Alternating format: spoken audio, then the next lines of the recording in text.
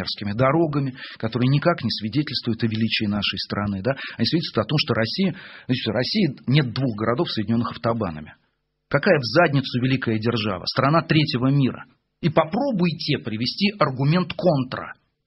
Двух городов нет, соединенных автобанами. Гитлер за 12 лет – вывел страну из кризиса, покрыл автобанами, создал материнский капитал, разогнал профсоюзы, расстрелял 12 миллионов евреев, заварил, верхушку, э, заварил заварушку кровавую вообще на весь мир за 12 лет.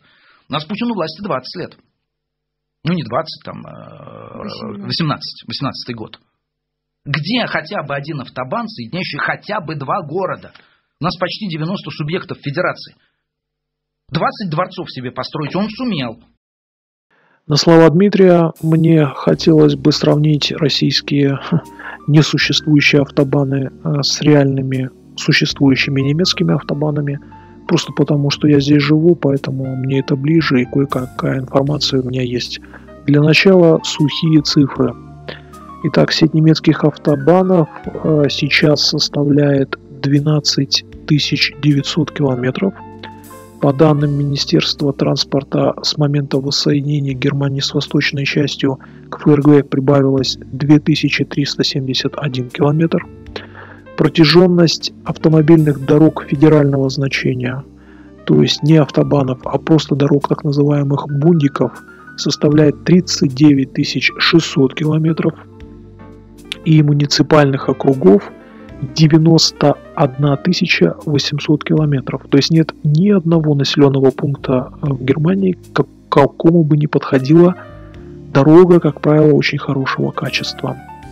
Специальные дорожки для велосипедистов вдоль федеральных и окружных автомобильных дорог протянулись в Германии на 60 тысяч километров – а теперь самое интересное, после всех этих цифр, если вы еще пока не оценили, что к чему, да, э, самая интересная цифра. Германия меньше России в 47 раз.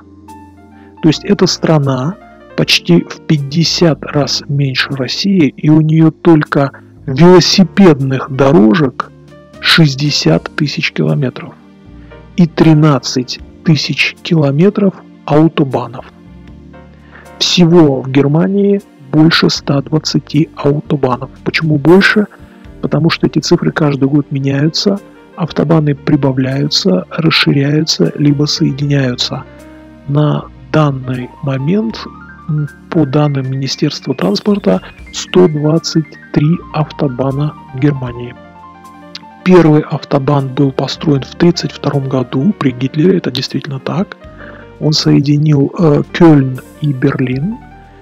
Эта дорога существует до сих пор. Она идет под номером А555.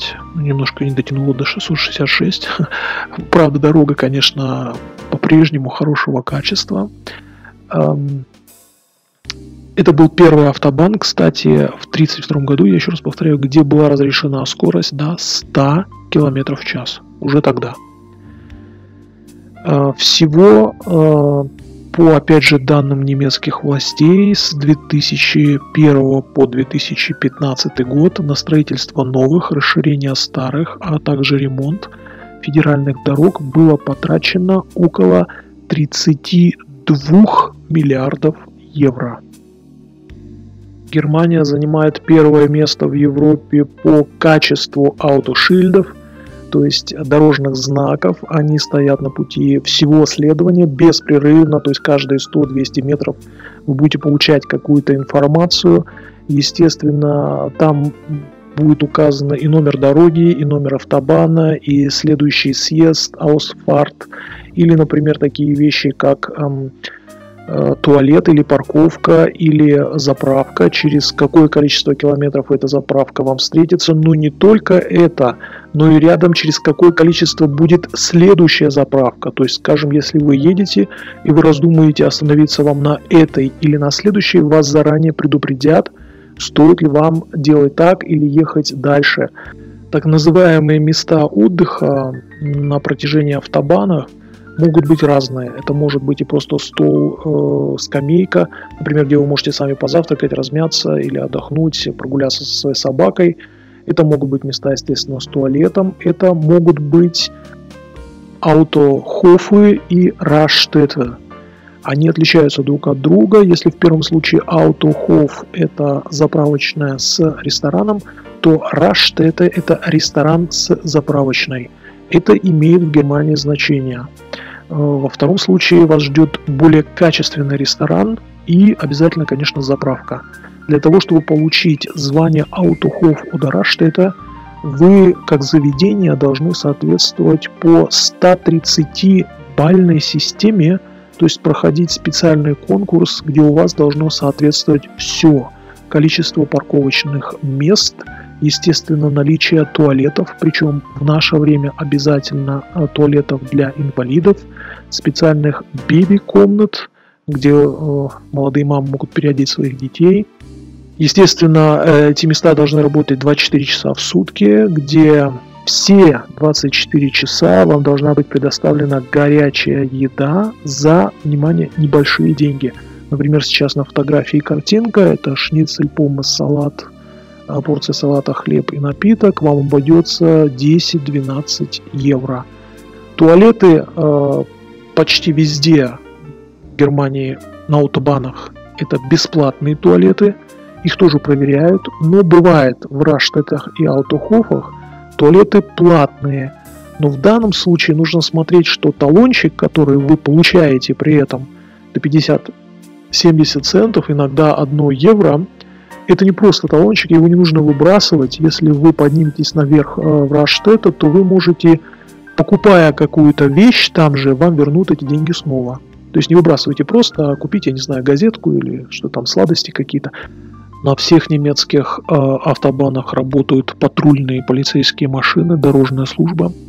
Как правило, это машины, не снабженные специальными знаками, то есть это не полицейские машины, а самые обыкновенные машины, находящиеся в общем потоке и наблюдающие за тем, как происходит движение. И если вы делаете что-то не так, можете не удивляться, что на каком-нибудь крутом Audi сзади вас или впереди вас может появиться табличка «Halt Polizei», значит, что что-то вы делали не так. Сопротивляться или отрываться от полицейских на немецких автобанах – это бесполезное занятие, потому что все полицейские машины снабжены специальными мощными моторами. Можно, например, э, встретить в качестве дорожной полиции Porsche 911 или какой-нибудь Mustang. Поэтому поиграться, конечно, можете, но шансов вообще никаких нет в этом случае. Контроль производится очень конкретный, очень серьезный, помимо того, что, естественно, есть фотоаппараты, естественно, есть различные ограничители. И даже на больших шильдах, где указывается скорость, там существуют специальные датчики, которые контролируют э, поток движения, насыщенность этого движения и если предполагается пробка и, например, так получается, что больше обычного идет машин, то они автоматически начинают снижать скорость. Или, э, скажем, для тех, кто находится в крайне правом ряду, это грузовые большие автомобили, для них зажигается ограничение, невозможность об обгона для того, чтобы они перестали перестраиваться на среднюю полосу и тем самым движение более-менее смогло распределиться и не было э, создано искусственно штау. Скорость на немецких автобанах 130 э, предусмотрена, но очень много мест, где стоит знак э, конец ограничения, соответственно, там может быть любая скорость. Осталось только добавить, что автобаны в Германии бесплатно, кто путешествовал по Европе, те знают, что Испания, Италия, Франция, везде вы вынуждены платить за пользование автобаном, в Германии нет. Единственное, кто платит за автобан, это большие тяжелые грузовики, то есть фуры для всех остальных бесплатно. Дело в том, что 80% с цены на бензин в Германии идет как раз на финансирование вот этого дорогого удовольствия строительства одного километра автобана в Германии стоит больше 20 миллионов евро. И тем не менее немцы это делают, они гордятся своими дорогами. Я думаю, что на данном историческом этапе развития человечества трудно представить себе что-то еще лучшего качества покрытия самих дорог, э, лучшего освещения ночного, лучшей защиты от животных, э, с лучшим контролем, с лучшим сервисом всего того, что предлагает немецкий автобан. Но мне кажется, вообще ничего невозможно найти в мире, соответственно, этому. При этом, что немцы заправляются не самым дорогим бензином в Европе, а пользуются дорогами самого высшего качества. На этом, пожалуй, все. Просто приезжайте в Германию и сами оцените это.